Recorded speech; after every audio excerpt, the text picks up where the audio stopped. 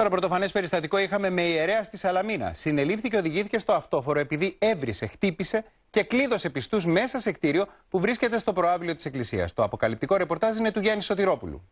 Ναι, με εντολή εισαγγελέα το έχω βάλει τηλέφωνο. Με εντολή εισαγγελέα θα πας και μέσα. Λοιπόν, χαίρετε, καλό βράδυ, να είστε καλά. Στο καλό. Μαζί σας. Και ο Χάρος. Θα σε πάρει γρήγορα ο Χάρος, ναι. Το ξέρω, μου το έχεις ευχηθεί πολλές φορές. Σας έβριζε. Ναι.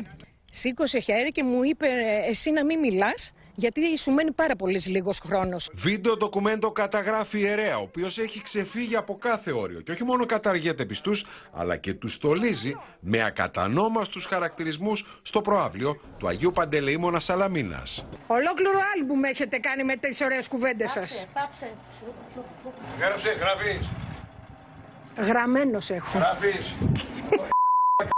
Και σαν να μην έφταναν όλα αυτά, η πρόεδρος του Εξοραστικού Συλλόγου της περιοχής καταγγέλει πως ο συγκεκριμένος ιερέας έχει χειροδικήσει εναντίον της και μάλιστα δύο φορές. Μου ρίχνει μία σπροξιά και πέφτω. Λίγο ακόμη θα είχα χτυπήσει στα, στα μάρμαρα εκεί πέρα, στα πλακάκια. Ε, Για δεύτερη φορά. Την άλλη φορά με είχε πιάσει από εδώ και με πέταξε εδώ απ' έξω. Κλείνει με την πηχά την πόρτα. Έχει, φ- ε, ήρθε εδώ πέρα να σας βάλει στρατιώτες.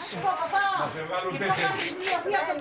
Δεν πειράζει, πάτερ. Πέντε. Αν βρεις παπαναυταφάψη. Το Σάββατο το πρωί, ο ιερέας συνελήφθη από αστυνομικούς μετά από μήνυση των μελών του Εξοραστικού Συλλόγου πως πήγαν να κάνουν διοικητικό συμβούλιο στα γραφεία τους που βρίσκονται στο προάβλιο της Εκκλησίας και αυτός τους κλείδωσε μέσα.